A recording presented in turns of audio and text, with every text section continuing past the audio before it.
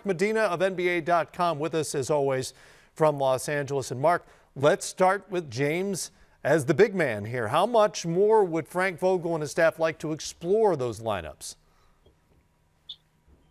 Well, I think Frank Vogel will certainly explore that, but I think it's reluctant because the whole adage going into the season is that they didn't want to put the burden on LeBron James. And I think Isaiah Thomas in the previous segment hit it on the head of, you know, this is screaming of desperation.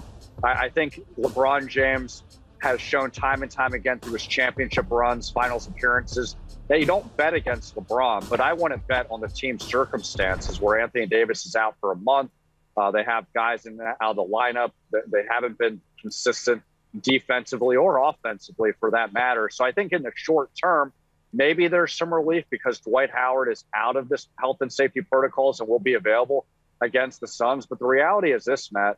Uh, DeAndre Jordan and Dwight Howard just haven't been good this year. Mm-hmm. Uh, DeAndre's best years have been behind him. And Dwight, I think he still shows flashes of athleticism, but he gets in a lot of foul trouble. And so you'd like for them to be able to pick up the burden, but so far that hasn't been a guaranteed thing. So as a result, I think the Lakers have to anticipate the inevitable. They'll need LeBron in whatever capacity, center or any other other four positions because of how good he is and how there's not really many other good alternatives. And even on those turn back the clock nights for Dwight Howard, where he's feeling springy and, and spry, he's not someone the Lakers are going to run their offense through necessarily as they would with LeBron wherever he is on the floor. What do those LeBron at center minutes mean to the others on the floor, including Russell Westbrook? Well, I think it puts uh, more pressure, obviously, on LeBron with making you know defensive stops in the interior, and I think it also puts more pressure on look you have to have Russell Westbrook and other guys make outside shots and make plays. And again, this was part of the thought process going into this season with getting Russell Westbrook, having a playmaker that can reduce the burden for LeBron James. But that has come at the cost of having a lot of good perimeter shooters and also a lot of perimeter defenders.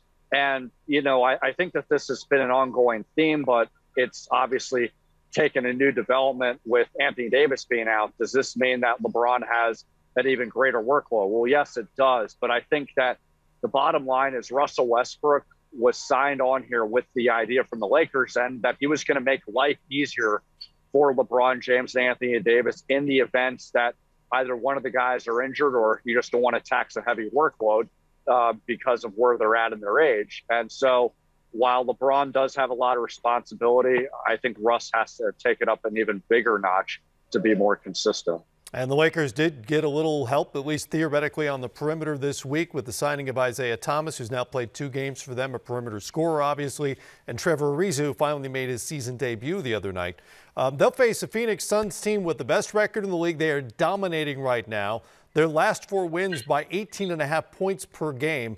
And they got healthier this week with the return of Devin Booker. What or who, if you can narrow it down to one thing, is driving this incredible start?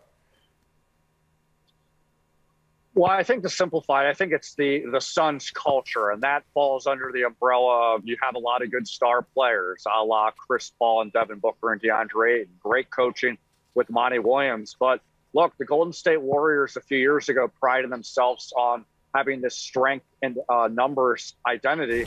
The Suns have that this season where, um, you know, they have guys like JaVale McGee and Jae Crowder and Mikal Bridges. Uh, you can go down the line um, of other guys stepping up in and out of the lineup. And the fact that you look at two main guys with Devin Booker and DeAndre Ayton being out for a stretch of games this season, and it hasn't really affected them too much from a win loss perspective, that shows that the Suns have been well constructed from top to bottom and that there's a lot of good leadership from their head coaching and star players and a lot of buy in from their role players. It is a very much a uh, recipe for championship success. Yeah, JaVale McGee in particular has been a very impactful signing for that team, and they are five wins better than at this point last season when they were still just getting to know each other as a team.